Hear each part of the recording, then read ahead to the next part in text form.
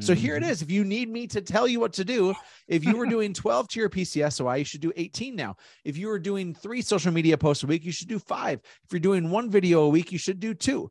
Whatever it is, you need to do more, but you need to identify what that is because if you don't have a blueprint, you're going to wonder, how the hell did I get here? And it's because you didn't follow a plan. Yep. Yes, sir.